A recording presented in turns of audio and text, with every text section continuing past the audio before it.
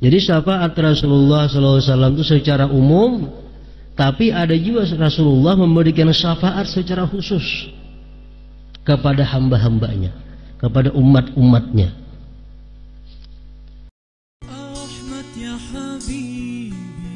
Jangan lupa tonton, subscribe, like, and share.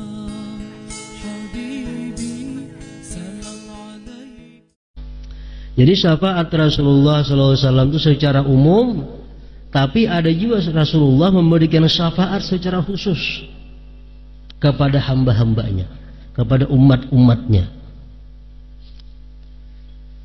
Umat Rasulullah semua anda bersyafaat. Tapi ada sebagian manusia yang tak banyak dapat syafaatnya, dapat bantuannya. Antara lain orang-orang yang pernah ziarah ke kuburnya. Kita pernah ziarah ke kubur Rasulullah sallallahu alaihi wasallam itu akan mendapatkan syafaat khusus dari Rasulullah. Yang kedua, orang-orang yang pagi bersalawat kepada beliau sepuluh kali petang berselawat lawan Nabi kita sepuluh kali orang ini pun akan mendapatkan syafaat yang khusus dari Rasulullah Sallallahu Alaihi Wasallam. Orang-orang yang banyak membaca salawat pada malam Jumat ini pun dapat syafaat khusus dari Rasulullah Sallallahu Alaihi Wasallam. Orang-orang yang membaca doa sesudah azan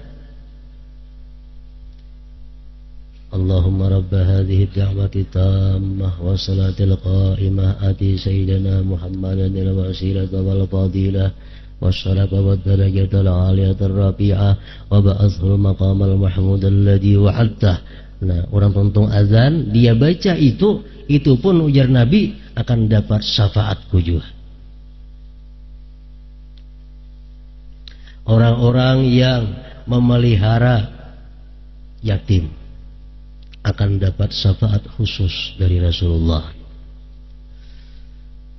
Orang-orang yang mati di kota Madinah, mati di kota Madinah, dikuburkan di Madinah, akan dapat syafaat khusus dari Rasulullah.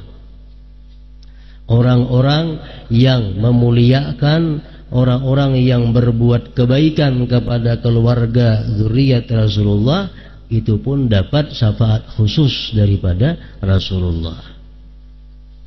Orang-orang yang di dalam dunia suka mengabulkan hajat orang lain itu pun dapat syafaat khusus dari Rasulullah di samping syafaat yang umum.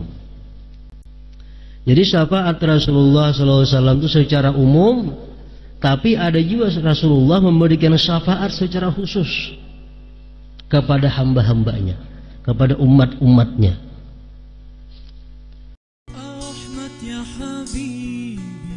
Jangan lupa tonton, subscribe, like, and share.